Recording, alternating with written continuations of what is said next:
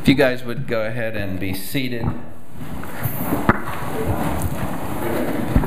The men are going to uh, come up and prepare to serve us this morning. I just want to draw your attention to the screen for a moment. This, the passage in 1 Corinthians that is one of my favorite passages to use um, for communion.